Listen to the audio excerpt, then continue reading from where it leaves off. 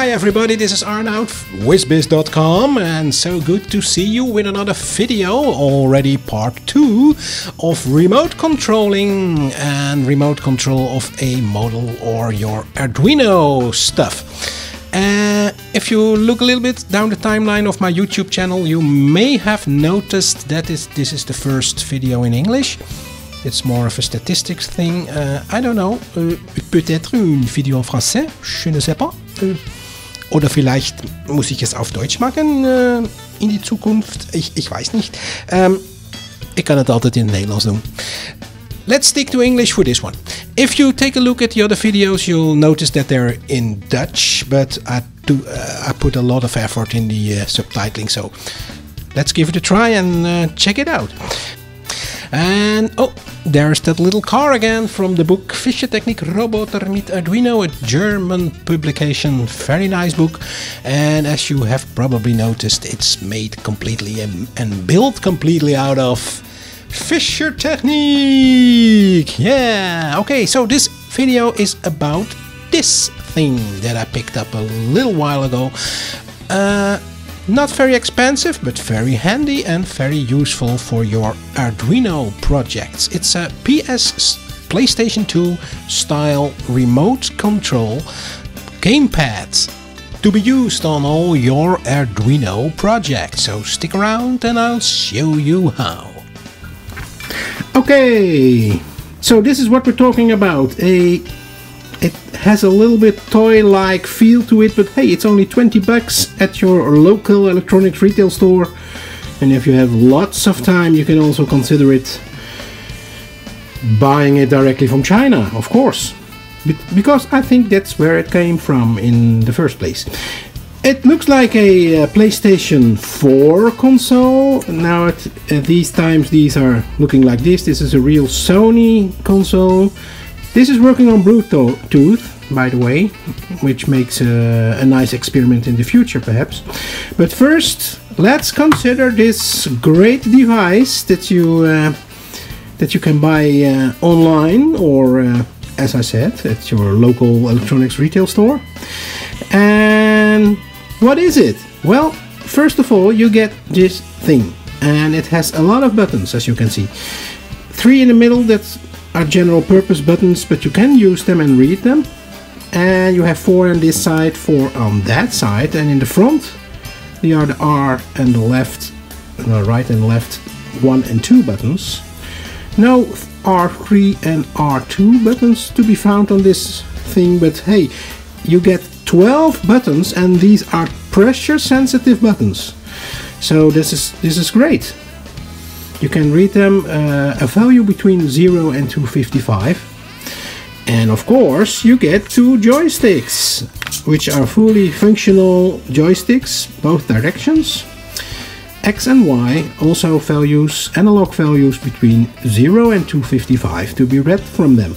And the thing has two modes, a digital mode and a analog mode. I think the digital mode is only for yeah for the past uh, uh, games that doesn't support uh, analog values to be to be returned. So we use it in the analog modes and we can read pressure sensitive keys and the full range of one byte for uh, X and Y uh, for both joysticks. Great! But hey, there is a hidden feature here.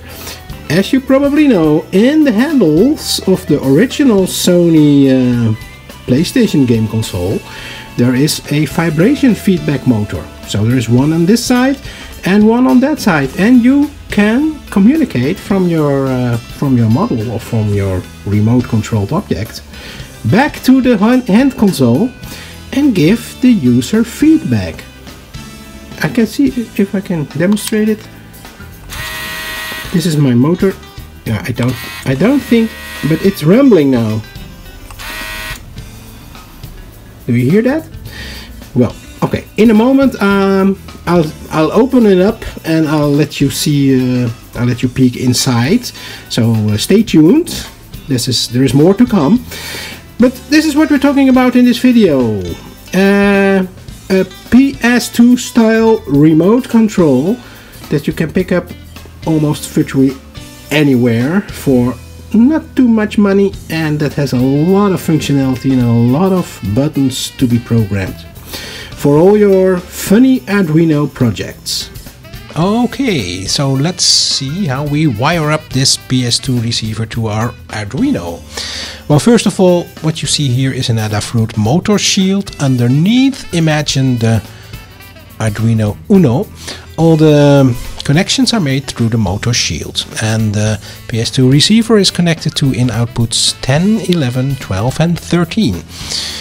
Uh, I won't go too deep into detail about the protocol that's been used on this PS2 receiver. There are a lot of people who figured figured it out and documented it on the internet, but it's an for as you know it, it's a, a SPI kind of protocol with two data lines, full duplex that is, uh, and a clock and then well attention signal.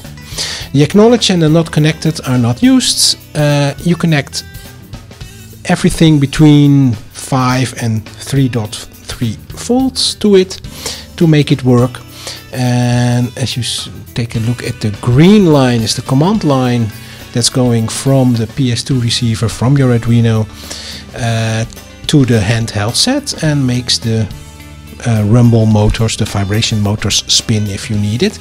Uh, and the other line, the data line, is of course all the information that's coming from the handheld uh, set to the receiver. So it's full duplex and uh, there is information going in both directions.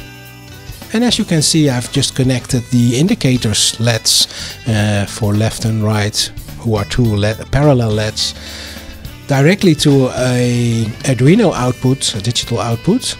Normal Arduino digital outputs can drive up to 40 milliamps and two parallel LEDs are about 3 or 4 milliamps, so there's no problem there. The good thing is that you can save your motor outputs of your motor shields for lights that you want to give multiple light intentions. For instance, the rear, the red rear lights, when you normally drive the car, you can lit them up to 50 or 70%, and when you brake the car, you can then go full Monty for 100% light and that's just as in the real world with some cars.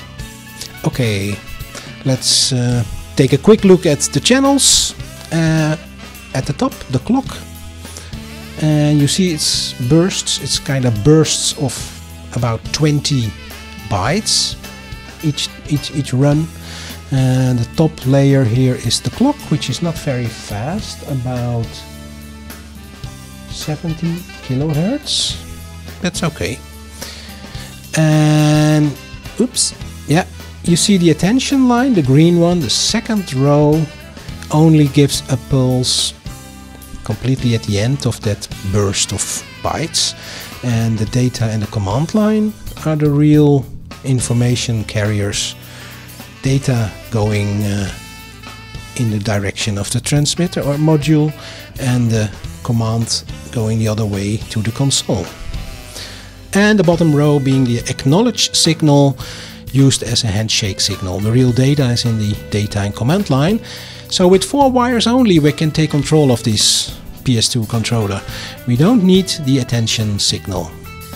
And here we are inside the gamepad where you can uh, see the two little motors, the vibrating rumble motors inside. One big one that accepts values between 0 and 255 and rotates in different speeds accordingly. And a small one like this one on the other side that can only be switched on or off. And I thought it might be a nice idea to use these motors uh, as feedback when the car is braking. So when it slows down or brakes, you get your rumble in your handset. Okay, so let's take a look at all the functionality that I've built in with my Arduino. First of all, this is the Arduino here and on top of it the motor shield, the Adafruit uh, motor shield.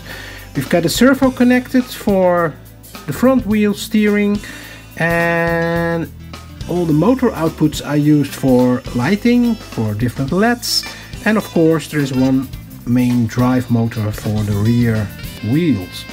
So this is the little car that you probably know from the book if you have built it or you can use any other model. I use this model for demonstration and as you can see I already have my um, my remote ha uh, at hand and it's already connected. Uh, the connection proce procedure is uh, quite quite easy. Uh, you can see that this LED is uh, not blinking. As long as it is blinking, it's uh, trying to connect to a controller nearby. let's give a small demonstration. If I close everything down, so everything is powered off now and I power this one up yeah here we go you see it's searching for a console and the moment I switch this on these LEDs permanently lit up so uh, well it's connected so let's see what we can do with it uh, first of all there are 12 buttons to be used. Well, um, I not use them all. This way too much for my project at the moment, but uh, I made an effort to to use these three and the X of the left joystick and the Y of the right joystick. First of all, steering. As you can see, it steers quite good proportionally and analog and the funny thing is uh, I made uh, what you call it direction indicators so this is the other side and that's the steering you see it works great. And then we have the motor. Driving at different speeds. And the moment we slow down it's considered a brake and the brake lights light on. Yeah, that's like that. Uh, I have uh, emergency lights, all the direction lights lit up, as you can see, just like with a normal car. And we have head and rear lights, head and front, front and rear lights, I have to say. Uh, as you can see, I use the, the the red LEDs in the in the back, and these are the same LEDs that we used for the brake signal. So let's see what happens if we're gonna brake. So um, first I speed up a little bit and when I brake you can see their intensity is a little bit higher just like with normal cars. These LEDs, uh, these lights are have two purposes. First of all it's the normal rear lighting and it's also used as a brake light. Okay, so that's a, a nifty thing. Um, What's more there is to say? Well, of course, I have another button here.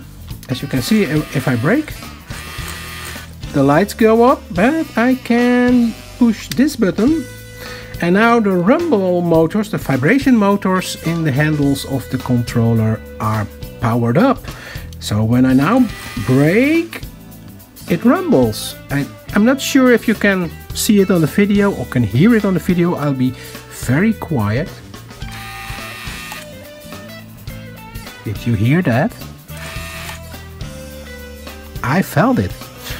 It's really nice to experiment with that and it has a lot of possibilities of course.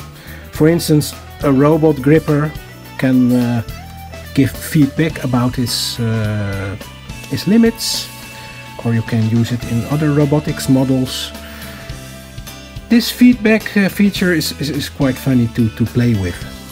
So this this is it. Uh, we have uh, steering, we have motor power on, and we can go reverse. As you can see, reverse light goes on when we go reverse. Brakes go when we slow down or stop. And at this very moment, there's also a feelable brake in my hands. Wow, isn't that nice? for a rainy Sunday afternoon. Well, this concludes my video for today. I'm looking forward to seeing your comments or your thumbs up if this video was a little bit entertaining or useful to you. And I hope to see you all very very soon with my next video.